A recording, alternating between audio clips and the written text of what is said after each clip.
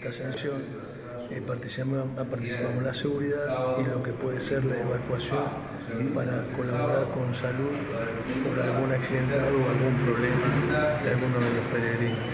Eh, vamos a estar en la base a lo largo de, todo el trayecto y en la parte de la cima con la colaboración de la gente de protección civil y bomberos voluntarios. Además, aparte, por supuesto, va a estar policía y la gente de Jera. ¿Con cuánta gente cuenta Defensa Civil para hacer esta, actividad?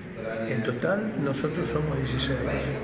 Aparte está la gente de policía y, la idea y salud. la idea no, trabajamos en conjunto. Claro, la idea es que se, se realice de forma normal y que todos puedan volver a su casa. Sí, por supuesto. Esto hay que tener en cuenta que es una no es un ascenso, es una peregrinación de ascenso.